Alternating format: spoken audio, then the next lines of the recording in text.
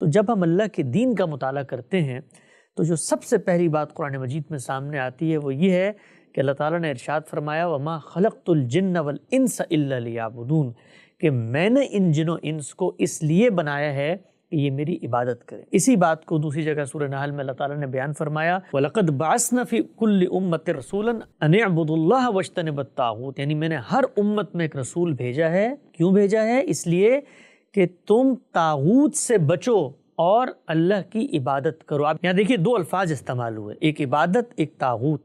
तागूत का क्या मतलब है? तागूत का मतलब है तमर्रुत सरकशी, बगावत, किसी चीज़ को अपने ऊपर तस्लीम ना करना। और इसके मुकाबल में है इबादत। इबादत का क्या मतलब है?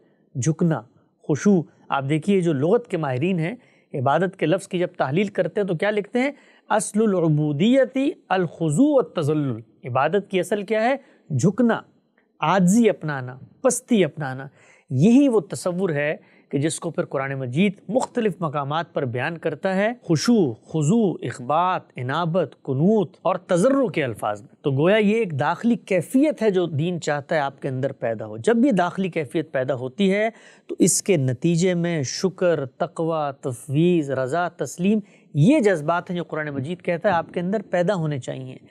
ये वो तस्वुर है इबादत का कि जो आपके दाखिल से फूटता है। जब ये आपके दाखिल से फूटता है तो ये अब्द और मबूद के ताल्लुक के बातनी मज़ाहिर हैं। ये आपके अंदर से उठने हैं। जब ये आपके अंदर से उठेंगे तो आप हर वक्त खुदा की आजमाइश पर सब्र करेंगे। आप हर वक्त उसकी इनायतों पर शुक्र करेंगे।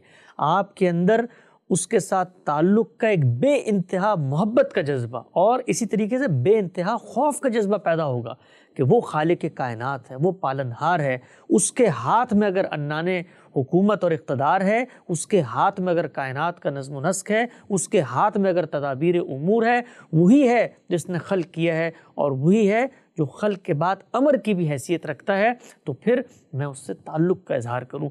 तो ये इबादत का बातिन है।